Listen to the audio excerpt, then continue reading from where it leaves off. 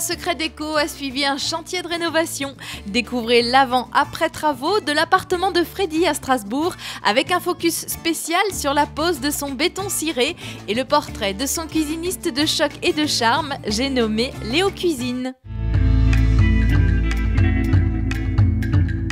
Youpi Freddy, ça y est, les travaux sont terminés. Alors, c'était pas des très gros travaux, mais cet appartement, tu es arrivé il y a un an et demi et tu avais envie de lui donner euh, ta patte. Il était beau comme il était avant déjà. Il était beau, mais il euh, fallait que je mette ma petite euh, touche perso. Puis il y avait des choses qui n'allaient pas. Il y avait un, un mur ici. Là. Ouais, donc c'est mon appartement, c'est un grenier aménagé. Euh, donc ce mur était existant, pas très pratique pour euh, les grandes fêtes avec des amis nombreux. On était, on se retrouvait un peu trop à, l'étroit. Du coup, il a fallu rajouter un poteau quand même. Ouais, donc j'ai fait venir un ingénieur de structure qui a fait tous ces petits calculs. Les poutres n'étaient pas comme ça non, plus. Donc euh, ce que j'ai voulu faire, c'est que toutes les poutres, donc il y a des poutres de partout, que j'ai décidé de, donc de poncer et de peindre en blanc pour que ça donne un côté un peu plus cosy, plus nordique. Donc avant, ça faisait appartement normand, un peu. Euh, c'était un vernis très foncé, assez dur, et maintenant on se retrouve un peu dans un appart euh, des pays nordiques, beaucoup plus scandinave. Couleur pastel. Couleur pastel et cosy.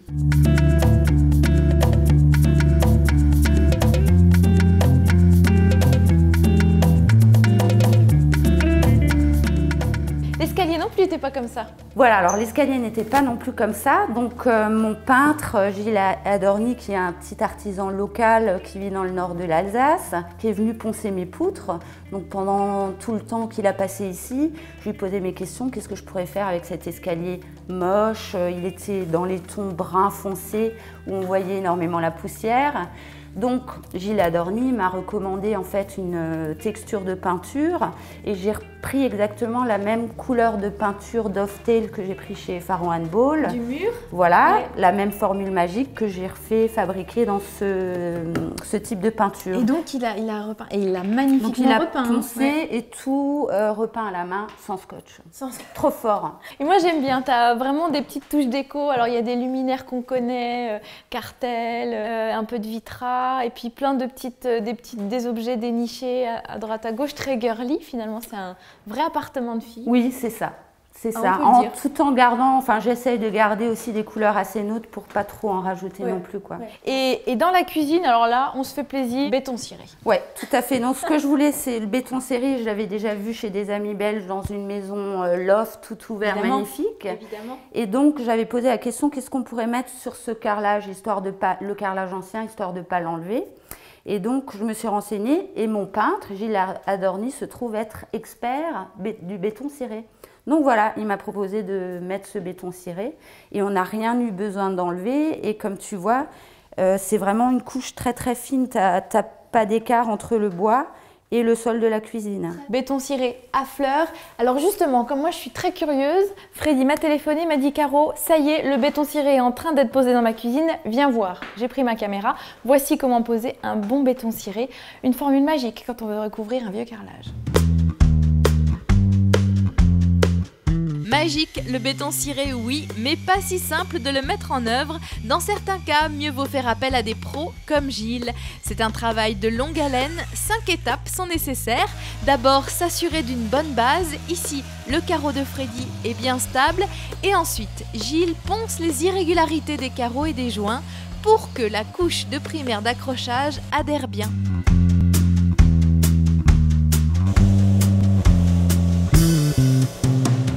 Il faudra au moins deux couches de béton bien sèches et poncées avant l'application des couches de vernis de protection. Bien sûr, un bon coup de truelle est nécessaire pour un meilleur rendu. La pose du béton ciré fait partie du chantier mené par Patrick, le cuisiniste de Freddy. Encore quelques jours de travaux et la cuisine pourra être mise en place.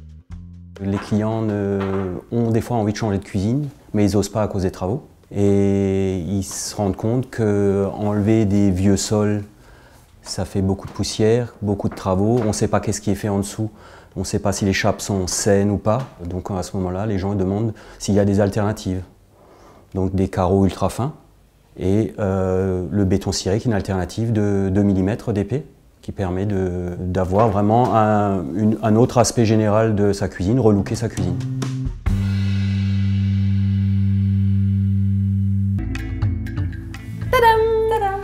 Ciré est terminé. Et cette cuisine a fait peau neuve aussi. Tu avais vraiment envie d'enlever l'ancienne et, de, et de mettre celle que toi, tu avais envie.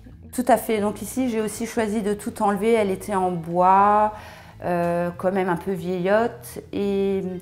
Vive le blanc, finalement. Vive ouais, le vive le blanc. Alors, euh, dans l'absolu, j'aurais bien aimé une cuisine noire, mais comme l'espace est quand même assez exigu avec ce rampant, euh, au niveau de la lumière, j'ai quand même resté, je suis restée sur le blanc oui, mat. Oui, tu as des sacrées contraintes quand même. Ouais. Il y avait déjà un îlot central par contre. Oui, ça prenait beaucoup euh, de, de, place dans la cuisine. Ce que j'ai choisi de faire, c'est un îlot assez grand. Il est très large, ouais. Pour avoir un super chouette plan de travail. Et donc, euh, je trouve cet endroit assez sympa. En fait, depuis que j'ai la nouvelle cuisine, euh, je m'y retrouve là, souvent. souvent. Ouais. Ça, c'est joli aussi ce que tu as fait au mur. Ouais, alors là, euh, mon cuisiniste a pas mal souffert. Il a mis une demi-journée à le faire. C'était mon idée.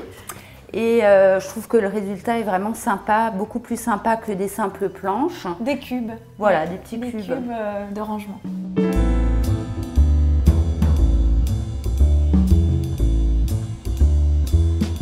Et alors ces lampes, ces suspensions là, elles sont super jolies. Alors c'est des lampes qui sont faites à partir du carton où tu poses tes œufs. D'accord, on a l'impression que c'est du métal. Eh ben non. Et en même temps, elles sont très bon marché, donc je suis très fière de moi. Ça c'est les bons plans. Une fan de déco. Bon, on va rencontrer Monsieur Léonard, ton cuisiniste, magicien avec qui tu as aimé travailler, qui nous a ouvert son showroom et fait découvrir son savoir-faire du côté d'Ernolsheim-sur-Bruche.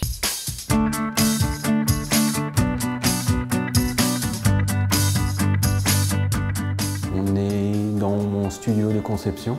Euh, c'était mon ancien garage et que j'ai transformé en studio euh, pour concevoir des, cuisines. C'est une entreprise familiale, j'arrive à faire des cuisines sur mesure, je transforme euh, des meubles livrés usine, je les modifie en atelier ou des fois chez le client pour arriver à vraiment du sur mesure. C'est moi qui la conçois avec mon épouse, qui la préparons avec le client et après je viens, je vends mais je l'installe aussi.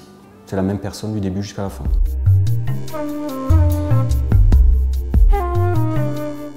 J'aime bien travailler tout ce qui est plan de travail fin, un peu le style à l'italienne, en stratifié, en verre, en quartz, en céramique.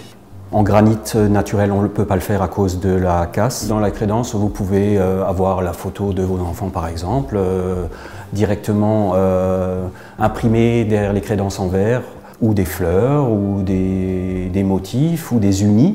Vous avez vraiment toutes les possibilités actuellement en faire en crédence et décorer sa cuisine, vraiment donner sa touche personnelle.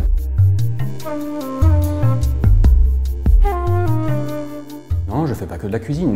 Vraiment, je, conseille les gens parce que, euh, ben, un moment donné, ils savent plus est-ce qu'ils doivent refaire les sols?